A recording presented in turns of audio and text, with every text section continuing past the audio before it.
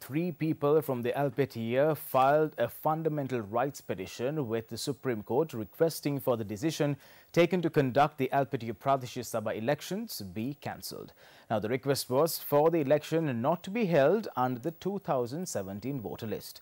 The petitioners pointed out on the 30th of August, the Supreme Court ordered to immediately hold the elections for the Elpitiya Pradesh Sabha and as per the order, the measures were taken to call for the elections on the 11th of October.